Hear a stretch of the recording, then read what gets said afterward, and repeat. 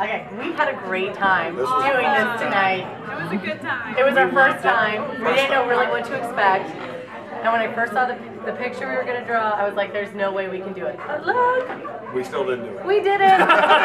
we did it. Thank But you we had a very great time. much. Thank you Seven so Arts much Center. fun. Awesome. My name is Tramel. This is my picture.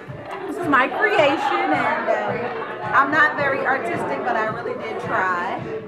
Wonderful time with my sisters at Alpha Kappa Alpha Sorority Incorporated, Sigma Omega Omega chapter. And um, I'd love to do it again. And this time, next time, I'll make sure it's a little bit more proportionate.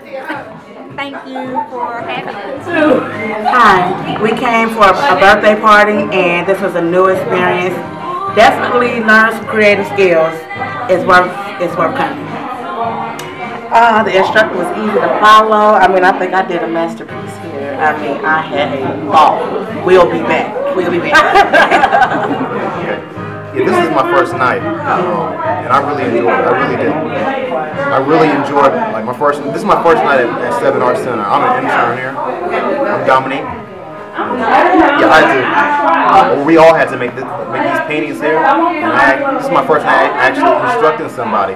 Because someone came late, so that was my first time actually like you know helping somebody catch up with the rest of the class, and that was actually pretty fun.